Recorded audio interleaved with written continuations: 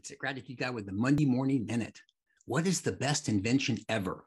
Some time ago, I saw an article in a magazine that posed a question What was the best invention of the last 10 to 20 years?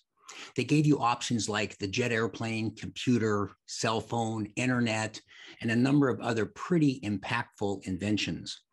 They also gave you the option to write in your favorite as well.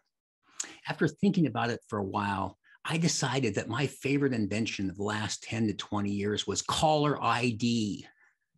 I think about all of the times that I answered the phone and thought that I really don't want to talk to this person, but now you were stuck.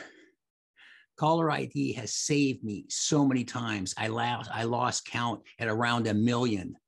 Sometimes when you're not in the mood, it will save you every single time. I am forever grateful for caller ID. What's your favorite invention of all time, or at least in the last 10 to 20 years? I'm that gratitude guy. Remember, be grateful and never quit.